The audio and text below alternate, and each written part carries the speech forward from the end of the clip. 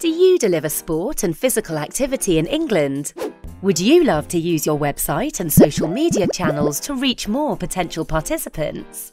Well, CIMSPA, in collaboration with Sport England, have developed a unique and free digital marketing hub just for you.